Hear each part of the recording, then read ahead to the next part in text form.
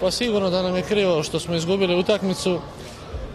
E, Portugal je igrao dobro prvo polovreme, stvorio nam dosta problema. Nismo ušli utakmicu onako kako smo, kako smo očekivali. Ovaj, sigurno ako moramo da izvučemo neke e, negativne stvari da bi poboljšali u budućnosti, to je prvo polovreme. E, tako isto mislim da, da smo drugo polovreme kontrolisali utakmicu i da smo bili, bili bolji od, od Portugala.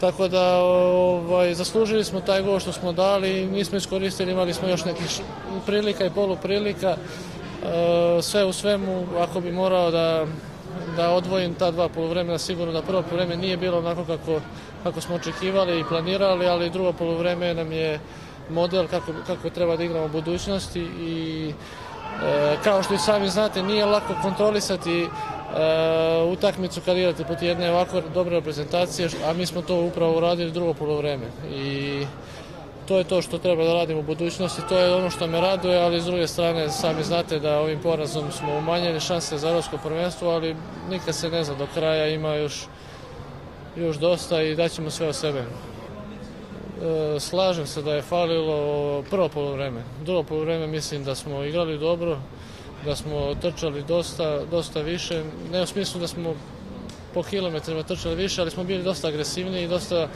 mislim da smo imali dosta više oduzetih lopti, e, da kažem te lopte 50-50 smo ovaj, dosta više u našu korist imali, ovaj, što nije bio slučaj u prvom polovremenu, tako da ovaj, moram da budem iskren, prvo polovreme je bilo slabo, drugo je bilo dobro.